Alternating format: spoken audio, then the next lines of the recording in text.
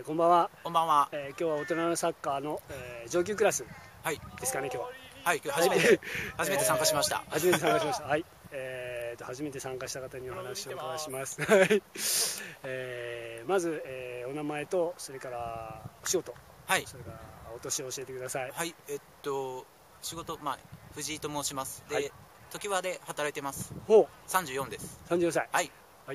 実は私も、えー関係があるところで働いてるんですけども時はどちらでお仕事ですか？時和は、えっと、バック売り場とかあります。バック売り場に行けば藤井さんに会えるんですねですね。はい はい。合言葉何か言えば割引ありますか？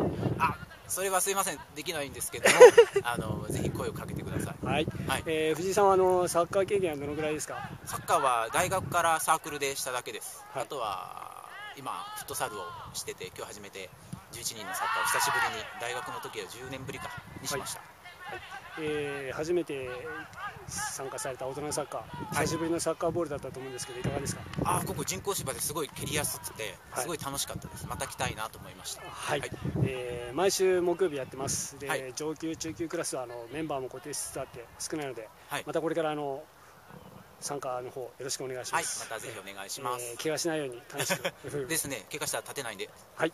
お願いします。売り場の方でお仕事も頑張ってください、はいありがとうございます。時はバック売り場の藤井さんでした。ありがとうございました。す